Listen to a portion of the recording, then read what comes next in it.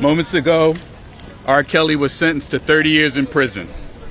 This is a significant outcome for all victims of R. Kelly and especially for the survivors who so bravely testified about the horrific and sadistic abuse they endured.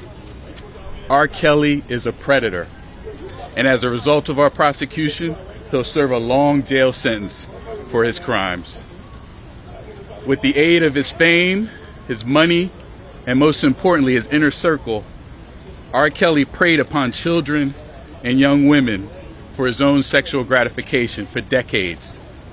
He used coercive control, exemplified by a pattern of isolation, rules, dependence, threats, intimidation tactics, physical abuse, and at least once the presence of a gun to force victims, including minors, to engage in sexual activity with him and others and to become unwilling participants in the pornographic films he wrote, produced, and directed. Good afternoon, everyone. I'm Steve Francis, the Executive Associate Director for Homeland Security Investigations, HSI.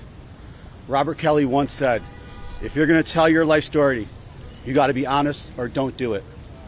Over the course of this HSI led multi year investigation and six week trial, a jury of Mr. Kelly's peers confirmed what these courageous victims have known for a very long time. Mr. Kelly is not an honest person. This man is a prolific serial predator who utilized his status as a Grammy Award winning household name with global recognition to inflict pain and anguish on so many victims. Are excited for this appeal that we are bringing. Um, obviously, you know, it was a hard day. Uh, he's been sentenced to a serious sentence, but we are confident uh, in our arguments that we raised in our post-trial motions that although they didn't persuade the district court judge, that they will persuade the Court of Appeals. We've always believed in those arguments, and we believe that this enterprise was overcharged, and that the Circuit, Second Circuit Court of Appeals will see it that way. Uh, he was. We just went over some of the.